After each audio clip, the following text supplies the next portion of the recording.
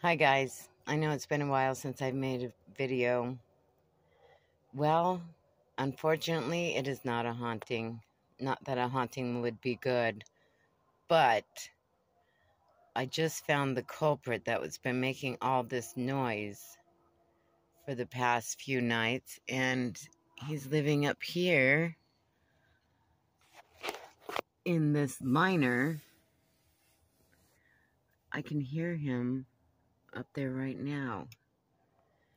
The other night, he got in between this board and the roof and was running around up there, and I could not figure out what that noise was. So, I have a much more expensive problem than ghosts. So, I will give you an update. If you have any suggestions, please let me know in the comments. And please like and subscribe. Thank you for watching.